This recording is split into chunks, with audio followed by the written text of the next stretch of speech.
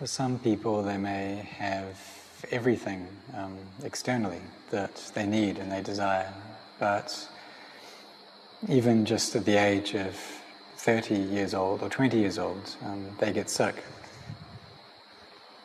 Some people may work a lot, um, really spend a lot of time at their job, but they don't have any free time because they're so busy trying to make money. And as they get a bit older, then the body deteriorates very quickly. They try to look after their body, to nurse it, and um, some people can take care of it um, and overcome their illnesses, and others can't.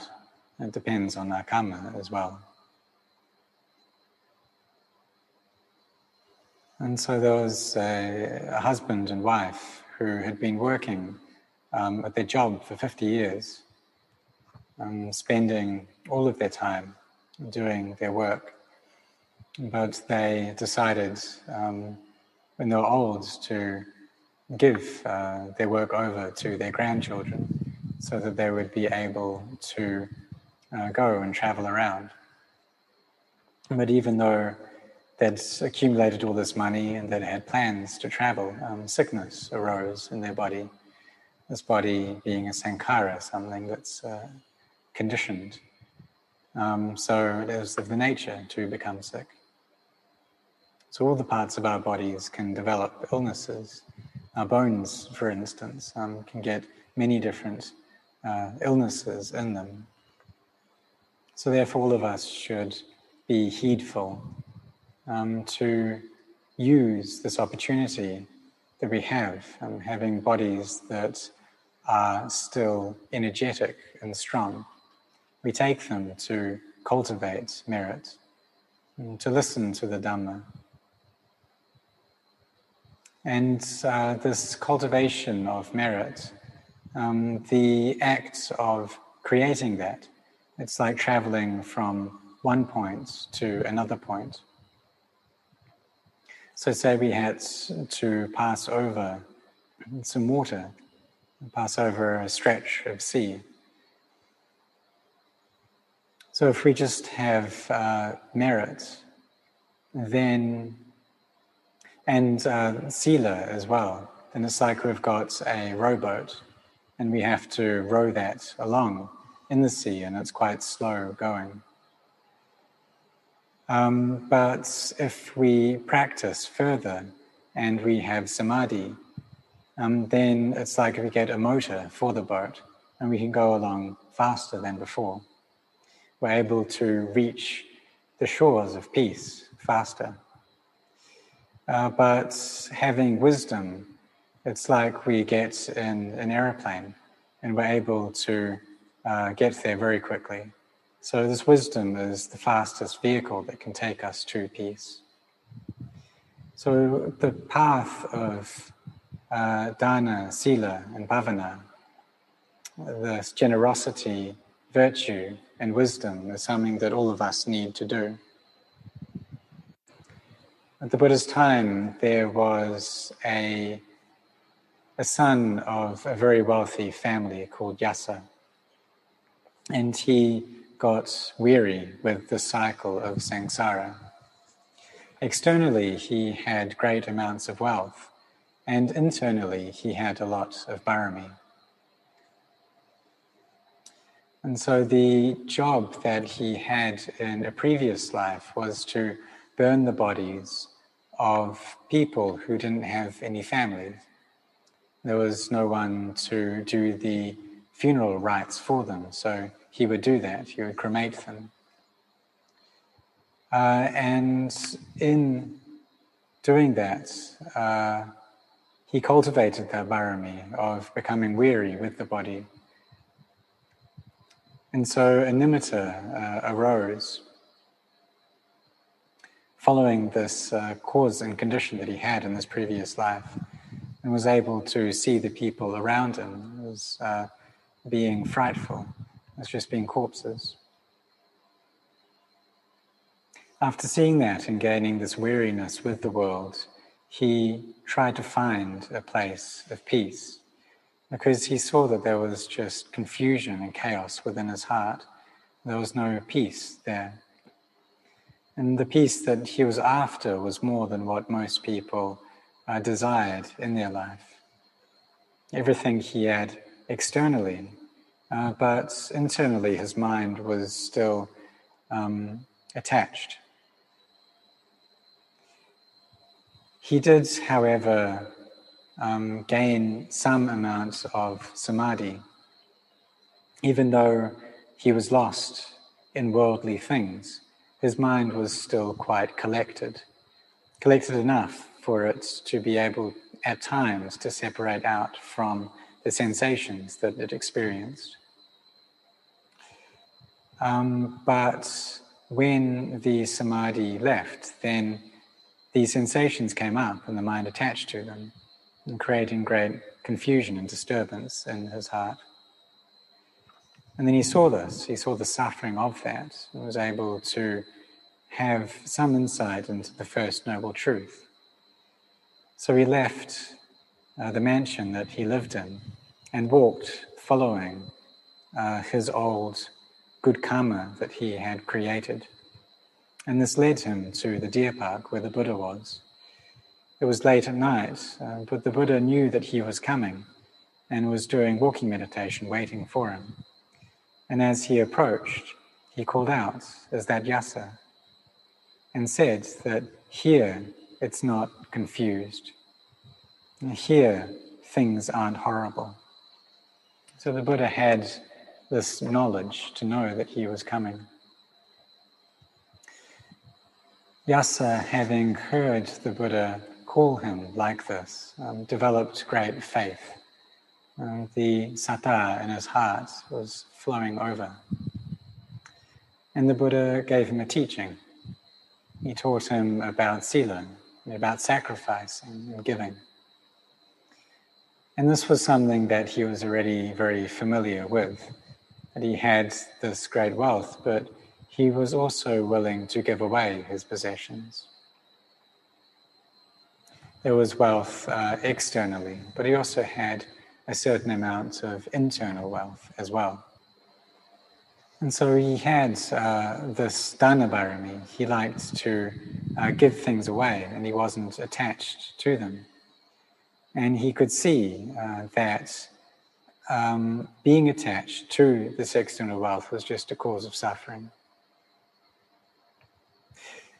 His sila was also very full, he had developed this uh, before. And so when the Buddha taught him about uh, sila dhamma, this quality of morality, of uh, ethical conduct, um, he had already established that in his heart, and he already knew that being without virtue is a cause of chaos in our lives. So he was already, already very firm in his practice of sila. His actions of body and speech uh, were peaceful already, but this just left his heart, which was yet still very stirred up. The Buddha then taught about the benefits of virtue, which is heaven. But we can understand that heaven can arise in the heart at this very moment. Even though we are in human bodies, heaven can still be present within our hearts. But most people are in a state of internal confusion and disturbance. So we see that there are many different kinds of people, just like there are many different types of food. And most people are very stirred up. There's a lot of greed, hatred, and delusion within them. But if we practice, uh, then we become humans both in body and in mind. We see that the arising or the birth of a human, it's actually something very difficult to take place. And a simile that the Buddha gave to describe just how difficult this is, how rare an occurrence it is, is like a blind turtle who is swimming in the great ocean. And floating on the water is a piece of bamboo that has a single hole in it. Now, this turtle surfaces once every 100 years, and the chance of that turtle surfacing and sticking its head through the hole in that piece of bamboo is the same chance of gaining a human birth. So something very rare, something difficult to come by. And what comparison could we use in modern times? Well, perhaps it would be like a child who is at a computer and they're on the internet um, trying to get into a well protected website that has information in it. Um, it's confidential information.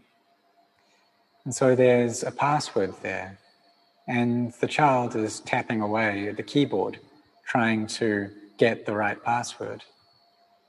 And so the chance of that child actually typing in the right password um, is the same chance of us gaining a human birth.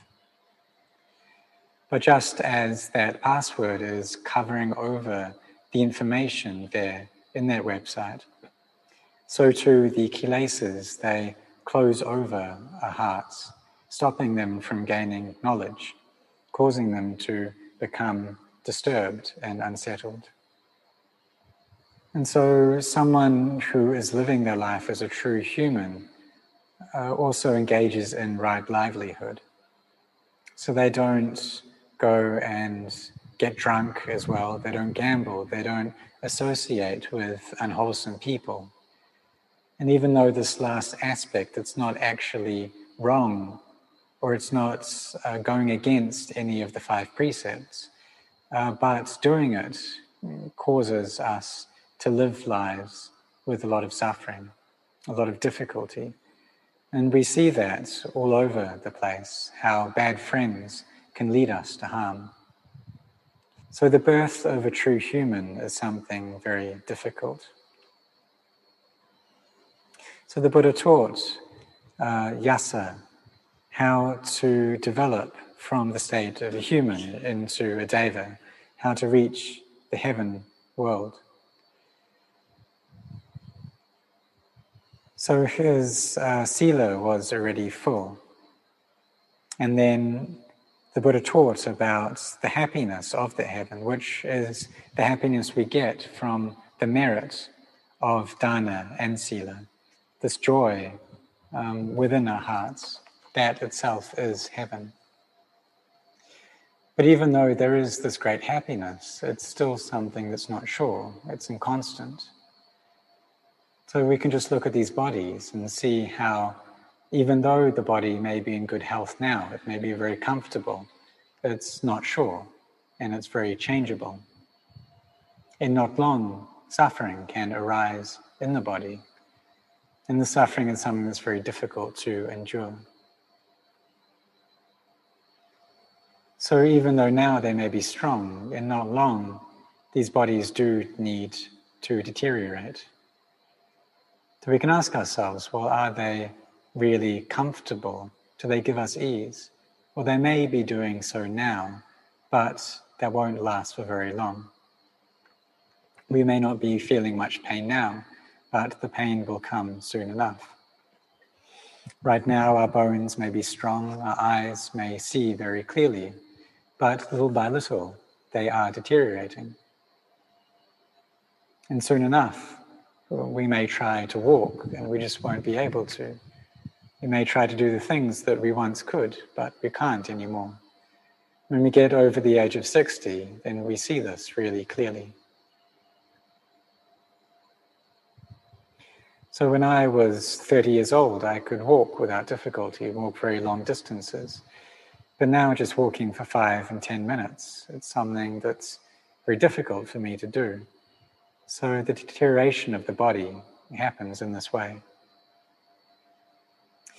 When I was younger, I went to Sri Lanka and we, a group of us, climbed up Adams Peak. And there was a man who came up with us who was 60 years old and he weighed 80 kilograms. And um, he had a hard time trying to get up. So the top of Adam's Peak is where there is a Buddha's footprint. There's a deva that resides at the top, and this deva invited the Buddha to come to the mountain, and the Buddha left a footprint there at the top. Uh, but this man, he wasn't able to go up. So I tried my best to get up, and I eventually did, but it was really difficult. And people in the party said that they hadn't experienced any difficulty like that. We had to wake up at 4 a.m. and we started climbing at 6 a.m. It took us maybe five or five and a half hours. There was uh, one very large monk who went up with us, but he just couldn't make it to the top. And there were two lay people who uh, passed out on the way. But now there is a Sri Lankan layman who has a very meritorious heart, and he's uh, worked and offered the funds uh, for the building of a road up to the top of the peak. And he invited me uh, to go. He asked if I've ever been before, and I said that I had, and he invited me to go again uh, using the road that he had built. And so, in not long, I'll probably travel to Sri Lanka to go up to the top of Adam's Peak again. So, when we're not yet old, we don't know really the suffering of the body. But when we age, then we know what it's like. So, therefore, while we still have strength and energy in our bodies, we use that having gained external wealth, we should also try to develop internal wealth as well. The wealth of sila, the wealth of samadhi, the wealth of a peaceful mind. And if our minds aren't peaceful, then we chant and do it a lot. We go through Itipiso 108 times. If we're traveling, then we go over that chant while we're traveling, bringing our minds to peace and to calm. Because when our minds are in a calm state, this becomes a cause for wisdom to arise. This wisdom knowing the truth of the Buddha's teachings. Something that normally we see anyway. just like the world being something unstable and constant, we see that all the time, but we just see it with the eyes of our flesh these physical eyes. We don't see it through the eye of Dhamma. And everything that we observe, everything that we come to know in this life, it's all bound up with self. This birth, old age, sickness, and death, and everything that happens in between those points, it's all, we all take it personally in terms of self. So, this is a view that is firmly embedded in our minds and something that is stubborn and won't change. But we need to try to change that, to abandon the sense of self, so that our minds can separate from the sensations that they experience and the internal nature of awakening can be born in our hearts. So, therefore, we try to build up merit we walk along this path of Sila, Samadhi, and Panya. And this is the vehicle uh, that will bring us to understanding. It's the Mahayana that takes us to peace and to the land of happiness. This land of happiness is Nibbana. It's something that we discover in our own hearts. It doesn't come up anywhere else, it doesn't exist anywhere else. All we have to do is really get our hearts to see anicca, dukkha, anatta, this inconstancy, stress, and not self, and we will see the Dhamma. So, therefore, all of us should try to cultivate our baramis, these spiritual perfections, walk along this path of sila, samadhi, and panya, that which will take us out of suffering, giving rise to liberation. So we will train ourselves in this way. And I give my anumodana to all of you who have traveled, some from close by and some from far away. Many people travel from Bangkok every weekend. you invite your friends to come along as well. And some people travel in from the city of Rayong and offer food in the morning every single day. It's very comfortable at home, but you make the effort to come out every day to offer food, seeing that this is a cause for internal joy and happiness, that we gain this joy through making merit. And when we accumulate merit, it's something that our hearts come to depend on. So, just like Yasa uh, depended on listening to the Dhamma of the Buddha to attain to the Dhamma. And um, I actually went to India, to the place where Yasa attained uh, to the stage of Sotapanna and Arahant. And it was at 10.30 in the morning that we were there. And I saw a nimitta of Yasa come. And he was spreading his kindness and compassion to us. So I asked for one of the lay supporters to take a photo. And what came out in the photo uh, was a bright white light um, that shone down uh, onto my head. So we see that his barami is still here, it hasn't gone anywhere. Uh, the barami of the Arahants is still around. The barami of the Buddha is still here as well. It's here in the Dhamma. So we should all put our efforts into building up our barami as well until we come to know the Dhamma clearly within our own hearts.